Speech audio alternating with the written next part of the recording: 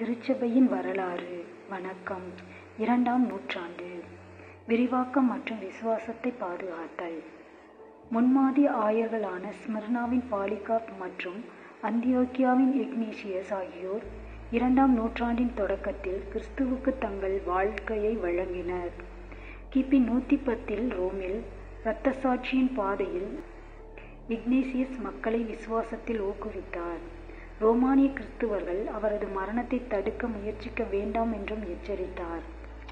இக்காலத்தில் இரத்த சாட்சியம் என்பது மோட்சத்திற்கு ஒரு நேரடி பாதையாக கருதப்பட்டது. எனவே இரத்த சாட்சிகள் ஆரம்பகால கிறிஸ்துவர்களால் மிகவும் மதிக்கப்பட்டனர்.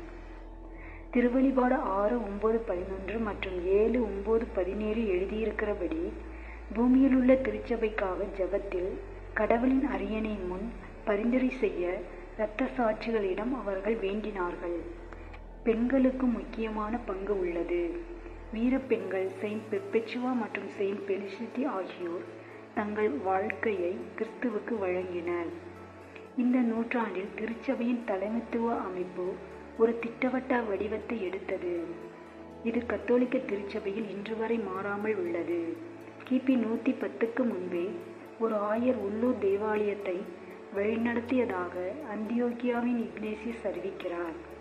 நற்கர்ணை கொண்டாடுவதில் சமூகத்தை வழிநடத்திய மற்றும் பிற திருவருட் சாதனைகளை நிர்வகித்த பிரஸ்பைட்டர்களால் அதாவது பாதிரியார்களால் ஆயர் தனது ஊழியத்தில் உதவி பெற்றார்.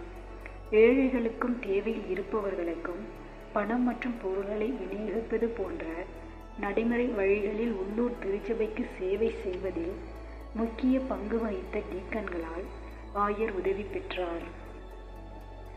பரிசுத்த ஆவியானவரின் வழிநடத்தப்பட்ட ஆயர்கள் இரண்டாம் நூற்றாண்டின் புதிய சவால்களை எதிர்கொள்வதற்கும் விசுவாச அறிக்கைகள் மற்றும் ஞானஸ்தானத்தை தயாரிக்க பயன்படும் கிறிஸ்துவ விசுவாசத்தின் சுருக்கம் போன்ற பொதுவான போதனைகளை வளர்ப்பதற்கும் இரண்டாம் நூற்றாண்டில் பணியாற்றத் தொடங்கினர்.